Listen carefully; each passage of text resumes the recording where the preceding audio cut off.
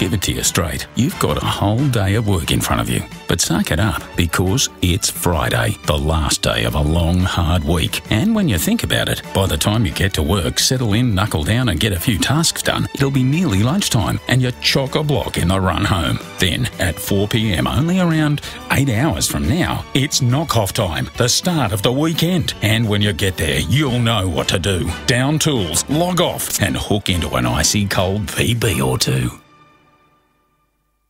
Well, that's lunch done. You're now officially skiing the downhill run to knock-off time, tobogganing to tools down. Yep, 4pm is just three measly hours away. You can almost taste it, can't you? Don't sit there and watch the clock though, that'll only slow it all down. Instead, knuckle down, polish off whatever last jobs you and your workmates have got, and before you know it, the little hand will be knocking on the door at 4pm. Then you'll know what to do. Knock off and grab an icy cold VB or two.